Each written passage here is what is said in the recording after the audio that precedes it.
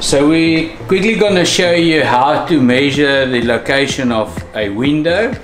Um, we've got obstacles on the left which makes it very difficult to measure exactly where my window is. So I'm going to measure it from the nearest corner.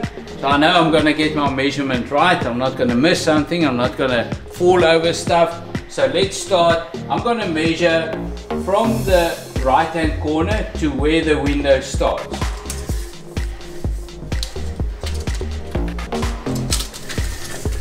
That measurement is 930.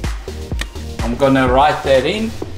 Next thing, when I measure the, the window, I always want three measurements. I want the width of the window, the height of the window, and then lastly, it's important for me to know what the window sill height is. So what is the measurement from the floor to where the window starts?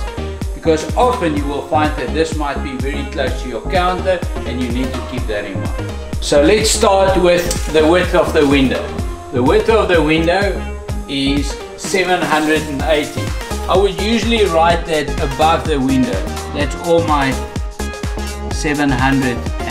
780. So I've got the width of my window. I now need to measure the height of my window and I would usually write that inside the window.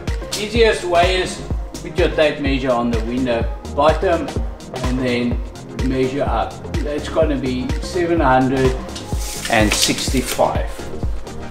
765 and I write that inside the window. I now need to get the height of my window sill and you will often have a counter that's in the way. That's okay, we can again take two measurements like we do when there's an oven or something and then in the way.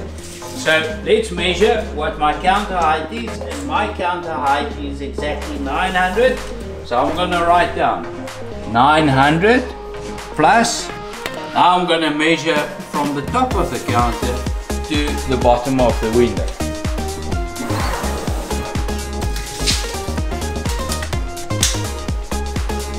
Seven hundred and ten. Seven hundred and ten. Then we know what exactly the, the height of my window is from the floor up. So we've now got all the measurements we need for our window. We can position that when we do the design. Almost done. One last thing. We need to measure the ceiling height because we often extend our cupboards all the way to the ceiling. So let's do that. The easiest way to measure ceiling height is to start at the bottom and work your way up. So you take your tape measure, it's flat on the floor, you use your foot, and then just run your tape up to where the ceiling starts. So here we've got a ceiling height of 2450. We'll write there ceiling height 2450. In this instance, we haven't got a cornice that runs at the bottom of our ceiling. If you do have a cornice, it's always advisable that you give us another measurement, the one that runs up to the bottom of that cornice, because that's basically where your um, cupboards needs to end. And that's the wrap. That's how you measure your kitchen. Not that difficult. You send this off to us. Give us an idea of what you want and we're to start doing a design for you while we're all sitting at the comfort of our home during this difficult time we're going through.